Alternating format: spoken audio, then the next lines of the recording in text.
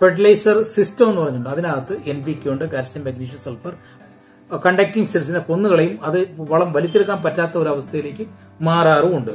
Symptoms കാണിക്കുന്നതിനേക്കാളും ഏറ്റവും അപകടകാരിയാണ് ഡെഫിഷ്യൻസിക്കൽ അപകടകരമാണ് ടോക്സിസിറ്റി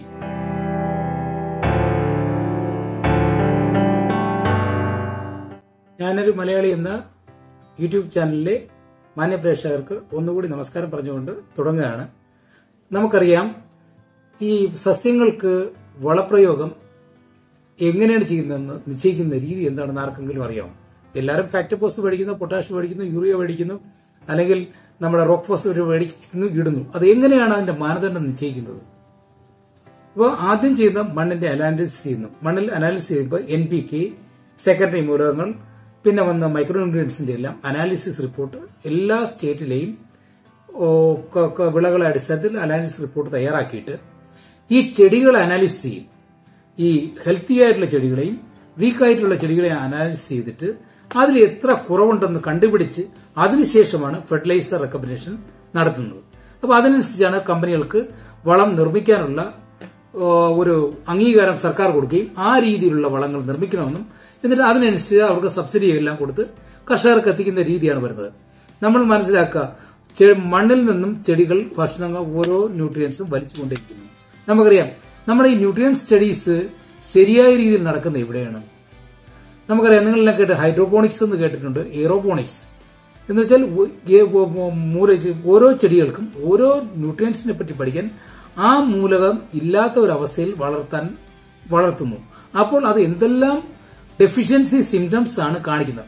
ഉദാഹരണത്തിന് നമ്മുടെ പൊട്ടാഷ് കുറഞ്ഞു കഴിഞ്ഞാൽ ഇലയുടെ ബോർഡർ കരിഞ്ഞു പോകുന്നു.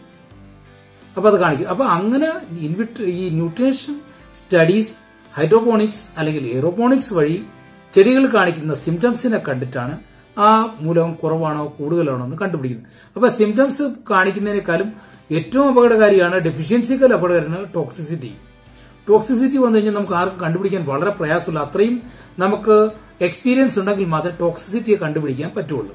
അപ്പൊ അത് പറഞ്ഞപ്പോൾ എന്താണ് ചെയ്യുന്നത്? നമ്മൾ എൻ പി കെ വളങ്ങൾ കൊടുക്കുന്നു. നമ്മൾ എപ്പോഴും ഒരു കാര്യം ശ്രദ്ധിക്കുക. ഉദാഹരണത്തിന് ഇപ്പൊ നമ്മുടെ തോട്ടത്തിൽ നമ്മൾ കയറിയപ്പോൾ ചെടിക്ക് മഞ്ഞപ്പുണ്ട്. ഇലയ്ക്ക് മഞ്ഞപ്പ് കാണിക്കുന്നു. അപ്പൊ നമുക്ക് എന്തെല്ലാം കാരണം? നൈട്രജൻ കുറഞ്ഞ മഞ്ഞ ഉണ്ടാവും. ഹൈറ്റ് കുറയും. പിന്നെ രണ്ടാമത് വന്ന് വെള്ളം കെട്ടിയുന്ന മഞ്ഞപ്പുണ്ടാവും. ഉണക്ക് കൂടിയാൽ മഞ്ഞപ്പുണ്ടാവും. നിമാവില കൂടിയാൽ മഞ്ഞപ്പുണ്ടാവും. വേര് ചീഞ്ഞാൽ മഞ്ഞപ്പുണ്ടാവും. ഇപ്പോൾ പിന്നെ നീരൂറ്റി കുടിക്കുന്ന ജീവി ഉണ്ടാവുന്ന മഞ്ഞപ്പുണ്ടാവും. അങ്ങനെ പല കാരണങ്ങളും മഞ്ഞയാകുന്നതിന്. അതിനുവേണ്ടി ഒന്നുകിൽ നമ്മൾ നൈട്രജൻ കുറവെന്നോ മഗ്നീഷ്യം കുറവെന്നോ അല്ലെങ്കിൽ പത്തൊമ്പത് പത്തൊമ്പത് അടിച്ച് അടിച്ചു കൊടുക്കാൻ പറയുന്നതാണോ ശരിയായ രീതി? അപ്പൊ അതിന്റെ മൂല കാരണം എന്താണെന്ന് ആദ്യം മനസ്സിലാക്കുക. അപ്പോൾ അത് മനസ്സിലാക്കിയിട്ട് ചിലപ്പം നൈട്രജൻ കുറവാണെങ്കിൽ ഉടനെ നമുക്ക് ചെയ്യേണ്ടത് നമ്മൾ പെട്ടെന്ന് പോയി ചെയ്യുന്നത് യൂറിയ മേടിച്ചു ഇടാൻ ഒരിക്കലും ഞങ്ങളോട് ചെടിക്ക് ഗ്രോത്ത് കൂടുന്നതിന് വേണ്ടി യൂറിയ വേണം. ചെടിക്ക് കടുപ്പം കൂടുന്നതിന് അമോണിക്കൽ നൈട്രജൻ അടങ്ങിയ വളങ്ങൾ വേണം. അപ്പൊ എന്ത് ചെയ്യണം? ഇത് ഒരു ത്രീ ഇസ്റ്റ് വൺ എന്നുള്ള രീതിയിൽ യൂറിയ മൂന്ന് മൂന്ന് ഇരട്ടിയും ഒരു ഒരു ഭാഗം അമോണിയ നൈട്രജൻ ചേർത്ത് മിക്സ് ചെയ്തിട്ട് അതിന് നമ്മൾ ചെടിക്ക് ഇട്ട് കഴിഞ്ഞാൽ ചെടിക്ക് വളർച്ചയും ഉണ്ടാവും നാര് കെട്ടിയെല്ലാം കൂടും. ഇല്ലാതെ അമോണിക്കൽ നൈട്രജൻ മാത്രം കിട്ടിക്കഴിഞ്ഞാൽ പലതരത്തിലുള്ള അതിന്റെ സെൽസാപ്പിന് സ്വീറ്റ് ടേസ്റ്റ് വരികയും പലതരത്തിലുള്ള രോഗത്തിനും കീടങ്ങൾക്കും ഉണക്കിനെ പ്രതിരോധ ശക്തി ഉണക്കിനെ പ്രതിരോധിക്കാനുള്ള ശക്തി കുറയുകയൊക്കെ ചെയ്തു വരുന്നുണ്ട്. അപ്പൊ അതിൽ ചെയ്യുന്ന ചെയ്യുന്ന കാര്യം എന്താണ്? നമ്മൾ ആ ഒരു ലെവലിലേക്ക് നമ്മൾ ചിന്തിക്കുക. രണ്ടാമത് ഏതെങ്കിലും തോട്ടത്തെ നീരൂറ്റി കുടിക്കുന്ന ജീവികൾ. ഉദാഹരണം ത്രിപ്സ് ഉണ്ട് മൈറ്റ്സ് ഉണ്ട്. ഇതിന്റെയൊക്കെ അറ്റാക്ക് ഏറ്റവും കൂടുതൽ കാണുന്നത് എപ്പോഴാണ്? നൈട്രേറ്റ് നൈട്രജന്റെ അളവ് ഏറ്റവും കൂടുതൽ ചെടികൾ ഉണ്ടാകുന്ന സമയത്ത്. അപ്പോൾ നമ്മൾ ചെയ്യേണ്ടത് വേനൽക്കാലത്ത് ആണ് ഒരുപാട് തരത്തിലുള്ള നീരുറ്റി കുടിക്കുന്ന ജീവികളുണ്ട് ആ സമയത്ത് ഹ്യൂമിഡിറ്റി കുറവായിരിക്കും. നീരുറ്റി കുടിക്കുന്ന ജീവികൾ ഭയങ്കരമായിട്ട് ആ സമയത്ത് നമ്മൾ എന്താണ് ചെയ്യുന്നത്? നമ്മുടെ കാൽസ്യത്തിന്റെയും സൾഫറിന്റെയും മഗ്നീഷ്യത്തിന്റെയും ലെവൽ ചെടികൾ കൂട്ടി കൊടുക്കുക അത് ഫോളിയറായിട്ട് സ്പ്രേ ചെയ്ത് കൊടുക്കാം. ഇപ്പൊ കാൽസ്യം ഒരു കിലോ ഉണ്ട് മഗ്നീഷ്യം അര കിലോ ഉണ്ട് പിന്നെ നമ്മൾ സൾഫർ ഒരു മുന്നൂറ് ഗ്രാം ഉണ്ട് അഞ്ഞൂറ് ഗ്രാം യൂറിയ ഒക്കെ ചേർത്ത് നമ്മൾ സ്പ്രേ ചെയ്തിട്ട് ഇലയ്ക്ക് ചെടിക്ക് നാര് കട്ടിയും ഇലയ്ക്ക് കട്ടി കൂടിയും ഉണക്കിനെ പ്രതിരോധിക്കാനും രോഗപ്രതിരോധ ശക്തി കൂട്ടാനും നീരൂറ്റി കൂടിയും ജീവികളിൽ നിന്ന് രക്ഷപ്പെടാനും ഇത് സാധിക്കുന്നുണ്ട്. അതിന് അല്ലാതെ തന്നെ പിന്നെ വേറെ കാര്യം വരാറുണ്ട്. ഇപ്പൊ ഫോസ്ഫറസിന്റെ കുറവ് വന്നു കഴിഞ്ഞാൽ ചെടികളിൽ കായ്ക്ക് ഓയിൽ കണ്ടന്റ് കുറയുന്നു. വേര് ശക്തമായ വേരുപടലം ഉണ്ടാകത്തില്ല. വരേണ്ടത് പ്രോട്ടീൻ സിന്തസിനെ സാരമായി ബാധിക്കുന്നു. പലപ്പോഴും തട്ടയിലെ പിഗ്മെന്റേഷൻ പിങ്ക് കളറിലെ പിഗ്മെന്റേഷൻ കാണിക്കാറുണ്ട്. അപ്പൊ പലരും ഓടിക്കയറി പറഞ്ഞു അയ്യോ അത് ഫിസേറിയം പിടിച്ച പിടിച്ചെന്ന് പറഞ്ഞ് ഓടിക്കാറുണ്ട്. പിഗ്മെന്റേഷൻ വരെ കാണാറുണ്ട്.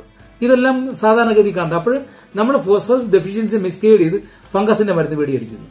അപ്പൊ അങ്ങനെ കാര്യം വരണം അപ്പൊ പൊട്ടാഷ് പൊട്ടാഷിന്റെ അളവ് കുറഞ്ഞു കഴിഞ്ഞാൽ നമ്മുടെ ഡിസീസ് റെസിസ്റ്റൻസ് കപ്പാസിറ്റി കുറയുന്നു. കായ്ക്ക് തൂക്കം ഉണ്ടാകുന്നു കുറയുന്നു. കാര്യം വെച്ചാൽ പലപ്പോഴും ഫോട്ടോസിന്തറ്റിക് ഈ ഫോട്ടോസിന്തേറ്റ് ട്രാൻസ്പോർട്ടേഷന് വേണ്ടി ഉപയോഗിക്കുന്നത് നമ്മുടെ ഈ പറയുന്ന പൊട്ടാഷാണ് പൊട്ടാഷ്യം ലെവൽ കുറഞ്ഞു കഴിഞ്ഞാൽ ഇതെല്ലാം കുറെ കാര്യങ്ങളിൽ പ്രശ്നം ഉണ്ടാക്കുന്നു. അങ്ങനെ ബോറോൺ ഉണ്ട്. ബോറോൺ ഇതിനൊക്കെ ട്രാൻസ്പോർട്ടേഷൻ ന്യൂട്രിയൻസിന്റെ ട്രാൻസ്പോർട്ടേഷൻ നടത്തുന്നതിനും ബോറോൺ വളരെയധികം സ്വാധീനം ചെലുത്തുന്ന ഒരു ന്യൂട്രിയന്റ് ആണ്.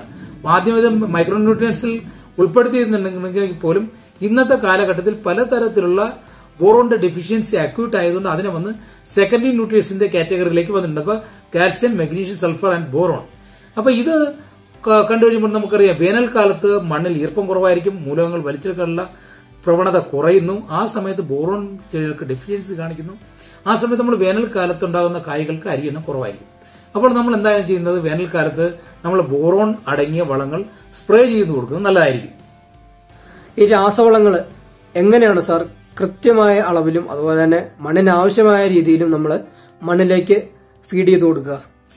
രാസവളങ്ങൾ കൊടുക്കുന്നത് നമ്മുടെ കാലാവസ്ഥയുടെ അടിസ്ഥാനത്തിലാണ് വളം കൊടുക്കേണ്ട രീതി നിശ്ചയിക്കേണ്ടത്.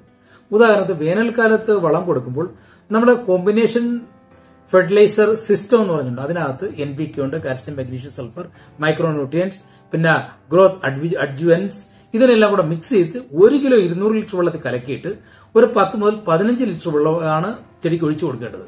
കാരണം വേനൽക്കാലത്ത് വേനൽ മഴ ഉണ്ടാകാറുണ്ട്. നമ്മൾ പൊടിവളമായിട്ട് ഇപ്പോൾ ഇരുന്നൂറ്റമ്പതോ മുന്നൂറോ അഞ്ഞൂറോ ഗ്രാം കൊണ്ടിട്ട് കഴിഞ്ഞാൽ പലപ്പോഴും അല്ലെങ്കിൽ നമ്മൾ മൂന്നാൽ കിലോ വളമൊക്കെ മിക്സ് ചെയ്ത് ഒഴിക്കുന്നത് കണ്ടിട്ടുണ്ട്. അപ്പൊ അങ്ങനെ ഒഴിച്ചു കഴിഞ്ഞാൽ എന്ത് പറ്റും? ഈ വളം മണ്ണിൽ കിടക്കുകയും പുതുമഴ പെയ്യുമ്പോൾ പുതുവേര് പൊട്ടി വരുമ്പോൾ ഈ കോൺസെൻട്രേറ്റ് വളത്തിൽ ടച്ച് ചെയ്യും അതിന്റെ അറ്റം കരിയാറുണ്ട്. അപ്പൊ അങ്ങനെ വരുമ്പോൾ എന്ത് പറ്റും? പെട്ടെന്ന് പലതരം രോഗങ്ങൾ വരാൻ ചാൻസ് ഉണ്ട്. പിന്നെ ഫംഗസിന്റെ മരുന്നിന് വേണ്ടി പോകണം അപ്പൊ ചെടിക്ക് ആവശ്യമായ വെള്ളം വളം ഡൈല്യൂട്ട് രീതിയിൽ അതായത് നീഡ് ബേസിസിലാണ് നമ്മൾ വളങ്ങൾ കൊടുക്കേണ്ടത്. അപ്പൊ അതിനുവേണ്ടി നമ്മൾ പറയാറുണ്ട് നമ്മളിപ്പം ഡൈലൂട്ട് ആയിട്ട് കൊടുത്ത് പെട്ടെന്ന് ചെടിക്ക് വലിച്ചെടുക്കാൻ പറ്റും വെള്ളവും കിട്ടുന്നുണ്ട് ഈർപ്പവും കിട്ടുന്നുണ്ട്. അപ്പൊ അങ്ങനെ വരുമ്പോൾ ഒരു ഏലക്കായ എടുത്തു കഴിഞ്ഞാൽ അവിടെ ഇപ്പോൾ ഒരു വർഷത്തിൽ ഒരു ഹാർവെസ്റ്റ് കഴിഞ്ഞാൽ ഉടനെ ഒരു വളം കലക്കി ഒഴിക്കുകയും സ്പ്രേയും കൂടെ ചെയ്തു കഴിഞ്ഞാൽ പെട്ടെന്ന് ആ ബാലൻസ് ആക്കാൻ പറ്റും. അപ്പൊ ചെടിയിൽ നമ്മൾ നോക്കണം. ഇപ്പൊ ഇൻ കേസ് ചിലപ്പോൾ വളത്തിന്റെ അളവ് കുറഞ്ഞു കഴിഞ്ഞാൽ ഫ്ലവറിങ് കുറയും. അല്ലെങ്കിൽ കായ്ക്ക് വലിപ്പം കുറഞ്ഞു കാണിക്കും. അത് ചിലപ്പോൾ കായ്ക്ക് കളർ കുറഞ്ഞു കാണിക്കും. ഇലയ്ക്ക് വീതി കുറഞ്ഞു കാണിക്കും. അത് ഇലയ്ക്ക് വീതി കുറഞ്ഞു കാണിക്കുന്നത് സിങ്കിന്റെ കുറവുകൊണ്ടാണ് ഇലയ്ക്ക് വീതി കുറഞ്ഞു. അങ്ങനെ ഓരോ ന്യൂട്രിയൻസിന്റെ കുറവ് കൊണ്ട് പലതരത്തിലുള്ള സിംറ്റംസ് കാണിക്കാറുണ്ട്. ആ സിംറ്റംസിനെ നോക്കിയിട്ട് അതിനനുസരിച്ച് വളം പ്രയോഗമാണ് നല്ലത്. ഇപ്പൊ നല്ല മണ്ണിൽ ഈർപ്പമുള്ള സമയത്താണെങ്കിൽ ഒരു ഇരുന്നൂറ്റി പോയിട്ട് മുന്നൂറ് ഗ്രാം വരെ വളം നമുക്ക് ഈ കോംപ്ലക്സ് വളം നമ്മൾ തയ്യാറാക്കിയിട്ട് നമുക്ക് ഇട്ട് കൊടുക്കാൻ പറ്റും. അത് ഒരു ഏകദേശം ഒരു അറുപത് ദിവസം വരെ അതിന്റെ എഫക്ട് ചെയ്യും. കലക്കി ഒഴിച്ച് കഴിഞ്ഞാൽ ഒരു മുപ്പത് ദിവസത്തിൽ കൂടുതൽ അതിന്റെ എഫക്ട് നിൽക്കില്ല അത്രയും പെട്ടെന്ന് ചെടി വലിച്ചെടുത്ത് തീരാറുണ്ട്. നൂതന ടെക്നോളജിയാണ് ഫോളിയർ വളങ്ങളുടെ കണ്ടുപിടുത്തമെന്ന് കഴിഞ്ഞ വീഡിയോയിൽ നമ്മൾ കണ്ടു. സാറ് പറഞ്ഞിരുന്നു. ഇതിന്റെ അമിതമായ ഉപയോഗം എന്തൊക്കെ ദോഷങ്ങളാണ് വരുത്തി വയ്ക്കുന്നത് അത് ഇത് അടിച്ചാലുള്ള ഗുണങ്ങൾ എന്തൊക്കെയാണെന്നൊന്ന് പറഞ്ഞുതരാമോ?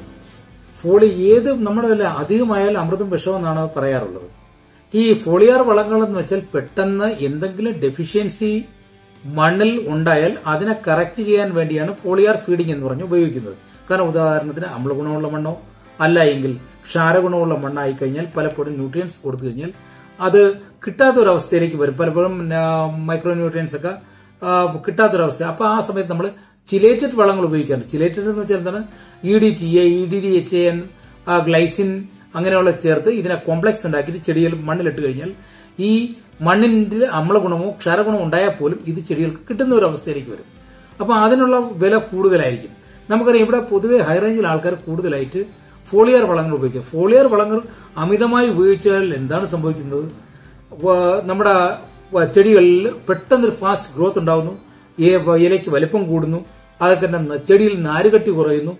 പലപ്പോഴും അമിത ഉപയോഗം പലതരത്തിലെ രോഗങ്ങൾക്കും കീടങ്ങൾക്കും കാരണമാകാറുണ്ട്.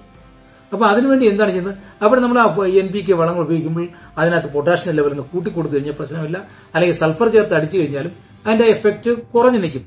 അപ്പം പലപ്പോഴും നമ്മൾ കാണാറുണ്ട് വേനൽക്കാലത്ത് ഈ വെജിറ്റേറ്റീവ് ഗ്രോത്ത് കൂടുതലായിട്ട് ചെടികളിൽ മഴവെള്ളം വരുമ്പോൾ അതിന്റെ ഭാരം താങ്ങാനാവാതെ ഒടിഞ്ഞു വീഴുന്ന ഒരുപാട് തോട്ടങ്ങളിൽ ഞാൻ കണ്ടിട്ടുണ്ട്.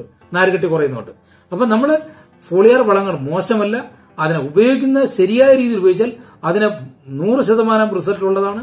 അതിന്റെ എഫിഷ്യൻസി തന്നെ തൊണ്ണൂറ് മുതൽ തൊണ്ണൂറ്റഞ്ച് ശതമാനം ഉണ്ട്. മണ്ണിലിട്ട് കഴിഞ്ഞാൽ ഒരു തേർട്ടി ടു ഫോർട്ടി പെർസെന്റേ ഉള്ളൂ. അങ്ങനെ ചെലവ് കുറയ്ക്കാനുള്ള പദ്ധതിയാണ്. പക്ഷെ ഇതിന്റെ അളവ് നിങ്ങൾ രണ്ട് രണ്ടര കിലോയും ഒന്നര കിലോയും രണ്ടര കിലോയും കൂടുതൽ ചേർത്ത് അടിച്ചു കഴിഞ്ഞാൽ അതിനെ സൾഫറോ എന്തെങ്കിലും ചേർത്ത് അതിനെ ബാലൻസ് ചെയ്തിട്ട് ചെടിക്ക് കാൽസ്യം മഗ്നീഷ്യം സൾഫറിന്റെ ലെവൽ ബാലൻസ് ചെയ്ത് അടിക്കുകയാണെങ്കിൽ നമുക്ക് യാതൊരുവിധ കോംപ്ലിക്കേഷനും ഉണ്ടാകത്തില്ല. എന്തൊക്കെ കാര്യങ്ങളാണ് രാസവള പ്രയോഗത്തിന് മുമ്പ് നമ്മൾ അറിഞ്ഞിരിക്കേണ്ടത്? എന്തൊക്കെയാണ് ചെയ്യാൻ പാടില്ലാത്തത്?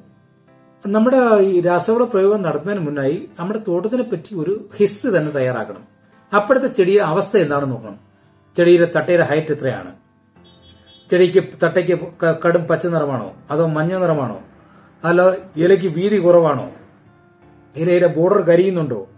പിന്നെ ജനറലായിട്ട് ചെടിക്ക് ഒരു മഞ്ഞപ്പ് കാണിക്കുന്നുണ്ടോ? ശരം വരുന്നതിന് തെളിവുണ്ടോ? അല്ലെങ്കിൽ കായ്ക്ക് കളറുണ്ടോ? അല്ല അരിയെണ്ണം എത്രയുണ്ട്? രണ്ടാമത് വേരിന്റെ അവസ്ഥ എന്താണ്? പൊടിവേര് നല്ല പൊട്ടുന്നുണ്ടോ? അല്ലെങ്കിൽ ശരം വരുന്നത് തറയിലോട്ട് ഇങ്ങനെ പാമ്പ് കണക്ക് കിടക്കേണ്ട സ്ട്രെയിറ്റ് ആയിട്ട് പോയിട്ട് വളഞ്ഞു വരുന്നതാണോ? ആദ്യത്തെ കൊത്ത് എത്ര അകലത്തിന് ശേഷമാണ് ഉണ്ടാകുന്നത്? ആ പുതിയ ചിമ്പ് പൊട്ടി വരുമ്പോൾ അതിന്റെ ആദ്യത്തെ ഇല എത്രാമത്തെ ഹൈറ്റിലാണ് വരുന്നത്? ഇതിനെപ്പറ്റിയുള്ള എല്ലാം ഒരു ക്ലിയർ പിക്ചർ നമുക്കുണ്ട്. അതിനുശേഷം ആ കഴിഞ്ഞ റൗണ്ടിലെടുത്ത കായിര കളർ എങ്ങനെയാണ്? അതിനകത്ത് ഒരു ആവറേജ് ഒരു ഒരു ബഞ്ച് കായ എടുത്തു കഴിഞ്ഞാൽ അതിനകത്ത് എത്ര അരി എണ്ണമുണ്ട് അരിക്ക് വയലിട്ട് കടിക്കുമ്പോൾ സൗണ്ട് ഉണ്ടാകുന്നുണ്ടോ അത് ചതഞ്ഞു പോകുന്നുണ്ടോ ഈ കാര്യങ്ങളെല്ലാം മനസ്സിലാക്കിയതിന് ശേഷം മാത്രമേ നമുക്ക് ഏത് തരത്തിലുള്ള വളം കൊടുക്കാമെന്ന് തീരുമാനിക്കാൻ പറ്റുള്ളൂ. രാസവളങ്ങളുടെ അമിതമായിട്ടുള്ള ഉപയോഗം എങ്ങനെയാണ് മണ്ണിനെ ടോക്സിക് ആക്കി മാറ്റുന്നത്? രാസവളങ്ങൾ അമിതമായിട്ട് ഉപയോഗിച്ചു കഴിഞ്ഞാൽ ആദ്യം ഉണ്ടാകുന്ന മണ്ണിലുള്ള സൂക്ഷ്മജീവികളുടെ പ്രവർത്തനം നിർജീവമാക്കുന്നു രണ്ടാമത് മണ്ണിന്റെ പി എച്ച് മൂല്യത്തിലും മാറ്റം ഉണ്ടാകുന്നു. മൂന്നാമതായിട്ട് ഈ മണ്ണിൽ അബ്സോർബ് പിന്നെ വേരിനടുത്തേക്ക് ഈ ന്യൂട്രിയൻസ് ചെന്ന് ഡെപ്പോസിറ്റ് ആയി വെള്ളത്തിന്റെ അളവ് കുറഞ്ഞ വേരിൽ പലപ്പോഴും ബേൺസ് ഉണ്ടാകാറുണ്ട്. കരിഞ്ഞു കരിഞ്ഞ് പാടുണ്ട്. അത് പലപ്പോഴും നമ്മുടെ കണ്ടക്ടിങ് സെൽസിനെ കൊന്നുകളയും. അത് വളം വലിച്ചെടുക്കാൻ പറ്റാത്ത ഒരു അവസ്ഥയിലേക്ക് മാറാറുമുണ്ട്. അങ്ങനെ വളത്തിന്റെ ടോക്സിൽ പല ഏരിയയിലും ഇങ്ങനെ കണ്ടിട്ടുണ്ട്. പല കാരണങ്ങൾ കൊണ്ടും ഈ ചെടികളുടെ വേരുകൾ നശിച്ചു പോയിട്ടുണ്ട്. ചിലപ്പോൾ അമിതമായിട്ടുള്ള രാസവള പ്രയോഗം കൊണ്ടായിരിക്കാം അല്ലെങ്കിൽ കീടനാശിനികളുടെ ഉപയോഗം കൊണ്ടായിരിക്കാം. ഇങ്ങനെ നശിച്ചുപോയ വേരിനെയും അതുപോലെ തന്നെ ചെടിയെ ഉന്മേഷവത്വമാക്കി എടുക്കാൻ എന്തെങ്കിലും മാർഗമുണ്ടോ? അത് നമ്മുടെ ഇത് എല്ലാ പലപ്പോഴും എന്റെ അടുത്ത് പല കർഷകരും ഫിസേറിയുമായിട്ട് വരുന്നുണ്ട്. പല പല കോംപ്ലിക്കേഷൻസ് അടിച്ച് മരുന്നുകൾ അടിച്ച് ചെടി കരിഞ്ഞുപോയി വരുന്നുണ്ട് ശരം കരിഞ്ഞുപോയി വരുന്നുണ്ട്. വേരില്ല എന്ന് പറയുന്നു. നമുക്കറിയാമല്ലോ നമുക്ക് അറിയാം ചെടികൾ മണ്ണിൽ നിന്ന് ന്യൂട്രിയൻസ് വലിച്ചെടുത്ത് ഇലയിലേക്ക് ചെന്നിട്ട് ഫോട്ടോസിന്തസിസ് പ്രക്രിയ വഴി ഗ്ലൂക്കോസ് തയ്യാറാക്കുന്നു. ആ ഗ്ലൂക്കോസ് ആണ് ചെടിയുടെ വളർച്ചയ്ക്കും അതിന്റെ പ്രത്യുൽപാദനത്തിനും വേണ്ടി ഉപയോഗിക്കുന്നത്. അപ്പൊ അതിനുവേണ്ടി ഒരു വെജിറ്റേറ്റീവ് ഗ്രോത്ത് നിന്ന് റീപ്രൊഡക്റ്റീവ് ഫേസിലേക്ക് കൺവേർട്ട് ചെയ്യുന്ന ആ പ്രോസസ്സിനെ പറയുന്ന പാർട്ടീഷനിങ് അപ്പോൾ ഈ പാർട്ടീഷനിങ് എന്ന് പറയുന്ന അതിന് വേണ്ടി വെച്ചാൽ ഈ സഫീഷ്യന്റ് ആയിട്ട് എനർജി ഉണ്ടെങ്കിൽ മാത്രമേ ചെയ്യാൻ പറ്റുള്ളൂ. ഇപ്പൊ ഉദാഹരണം വേര് നശിച്ചു പോയി. വേര് നശിച്ചു കഴിഞ്ഞാൽ ചിലപ്പോൾ വളം ഇട്ട് വെന്ത് പോകാറുണ്ട് ചില മരുന്നൊഴിച്ച് പോകാറുണ്ട് ചില ഫിസേറിങ്ങനെ ഫംഗസ് വന്നുകൊണ്ട് പോകാറുണ്ട് അല്ലെങ്കിൽ നിമാവിര വന്നും പോകാറുണ്ട്. ആ സമയത്ത് നമ്മൾ ഈ അടുത്തിന് നമുക്കറിയാം നമുക്ക് എപ്പോഴും ഒരു സാങ്കേതിക വിദ്യ ജനങ്ങളിൽ എത്തിക്കണമെങ്കിൽ എന്താണ് ചെയ്യേണ്ടത്? അത് നമ്മുടെ എത്തുന്ന കയ്യെത്തുന്ന ദൂരത്തിലുള്ള വസ്തുക്കൾ വെച്ചായിരിക്കണം. വില കുറവാണ് അപ്പൊ നമുക്ക് വിനാഗിരി ചേർക്കാം ഗ്ലൂക്കോസ് ചേർക്കാം പിന്നെ തേൻ ഉപയോഗിക്കാം ഇതെല്ലാം കൂടെ ചേർത്ത് നാരങ്ങയെല്ലാം പിഴിഞ്ഞ് ഇതിന് സർബത്ത് കണക്ക് സ്പ്രേ ചെയ്ത് കൊടുത്തു കഴിഞ്ഞാൽ പെട്ടെന്ന് നമുക്ക് വേര് പൊട്ടിക്കാൻ പറ്റും. അതിന്റെ ഡോസും കാര്യങ്ങളൊക്കെ അത് നമ്മൾ നേരിട്ട് നിങ്ങൾക്ക് ആവശ്യമുള്ളവർ വിളിച്ചാൽ മതി. ആ സമയത്ത് പറയാൻ പറ്റും. ഇങ്ങനെ നിങ്ങൾക്ക് ഇന്ന സാധനം കൊണ്ട് കൊണ്ട് മാത്രം തന്നെ അഞ്ച് പൈസ ചിലവാക്കാതെ നമുക്ക് അടുത്ത് കിട്ടുന്ന സാധനങ്ങൾ വെച്ച് ചെയ്യാൻ പറ്റും. റിക്കവർ ചെയ്യാൻ പറ്റും. അതിന് കൂടുതൽ പൈസ ചിലവാക്കേണ്ട ആവശ്യമില്ല.